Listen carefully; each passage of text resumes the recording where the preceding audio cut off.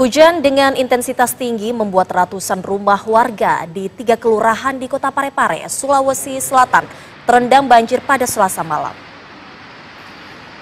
Intensitas hujan yang tinggi sejak Selasa sore membuat air meluap dan menggenangi rumah serta sejumlah fasilitas umum seperti sekolah dan masjid.